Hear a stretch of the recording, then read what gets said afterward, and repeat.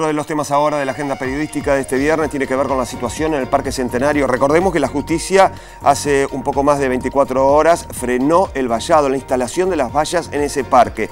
Hubo un festival encabezado por integrantes de la Asamblea del Parque Centenario. Hoy habrá una nueva marcha. Testimonios. Vecinos, usuarios y feriantes del Parque Centenario que se oponen a su enrejado realizaron un festival cultural para pedir al gobierno de la ciudad que cese, por decisión propia, con el cerco que instaló en el predio.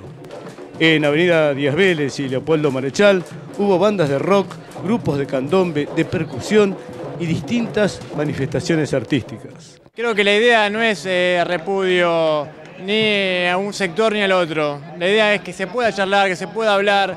Acá se habla mucho de eh, la feria eh, que está, que es legal y la feria ilegal. A ver, para lo que se considera legal acá, eh, te explico, porque yo soy de acá, lo que se considera legal acá adentro es artesanía. Si sos artesano, sos legal. Si vos vendés un cuero que lo hiciste en tu casa, no sos legal. Si cortás pelo, aunque lo hagas con tu mano, no sos legal. Entonces la idea es, si el doctor, eh, si el ingeniero Macri quiere a partir de ahora implementar esta, esta, esta modalidad, o sea, yo no me voy a, a poner a eso, quién soy yo para hacerlo, ¿no? Pero sí que por lo menos se diga que estamos todos trabajando.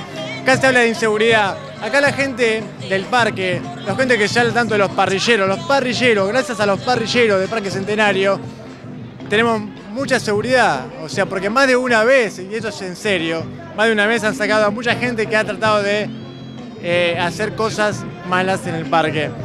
Así que realmente yo quiero eh, pedir por la gente que está detenida todavía, que por favor, que por favor, más allá si tienen documentos, si no tienen documentos, son trabajadores. O sea, si Macri lo que quiere a partir de esto es eh, poner todas sus carpas amarillas y que digan gobierno de la ciudad con sus puestos y que le pidan requisitos a cada persona, hay personas que no tienen ni documento, pero no por eso no pueden trabajar.